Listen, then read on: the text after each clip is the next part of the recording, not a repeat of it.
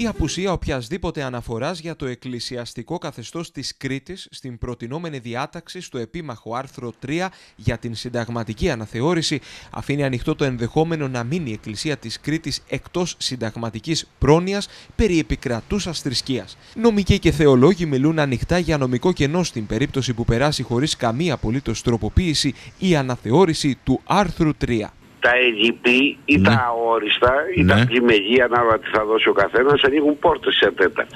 Και, και δεν είναι τυπικά στα νομικά. Τα νομικά είναι ε, μαθηματική επιστήμη, δεν είναι θεωρητική. Σωστό. Είναι τη ακρίβεια. Σωστό. ακρίβειας. Δεν λέει, παίζουμε με τι λέξει, μα είναι έννοιες.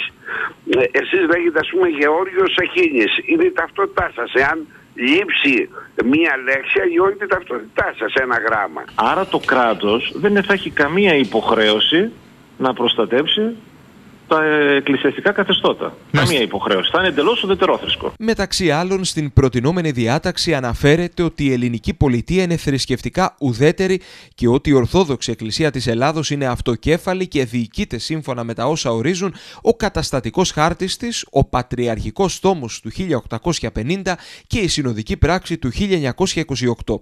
Το εκκλησιαστικό καθεστώς της Κρήτης και των Δωδεκανήσων δεν αντίκειται στις παραπάνω διατάξεις. το έχουμε παρατηρήσει και αρκετοί νομικοί ότι ενώ γίνεται μια α, ευρεία θα έλεγα για σύνταγμα περιγραφή της νομικής φύσεως του νομικού πλαισίου λειτουργίας της Εκκλησίας Ελλάδος ε, για την Κρήτη μάλιστα τίθεται κατά τρόπον ε, αρνητικό δηλαδή ότι το καθεστώς των, ε, της Εκκλησίας της Κρήτης και των Δεκαγνήσων ε, δεν θίγεται με το παρόν ή δεν αντίκειται στις διατάξεις του παρόντος. Χαρακτηριστική είναι και η επιστολή που έστειλε στον Αρχιεπίσκοπο Κρήτης ο βουλευτής Ηρακλείου της Δημοκρατικής Συμπαράταξης Βασίλης Γεγκέρογλου. Θα επιθυμούσα μια θεσμική συνάντηση με την ιδιότητά σας ως Προέδρου της Ιεράς Επαρχιακής Συνόδου της Εκκλησίας της Κρήτης, προκειμένου να συζητήσουμε τα ζητήματα που ενδέχεται να προκύψουν εις βάρος της Κρήτης λόγω της απαξίωσης της Εκκλησίας της Κρήτης και του ανύπαρκτου διαλόγου με την κυβέρνηση, με ευθύνη της δεύτερης.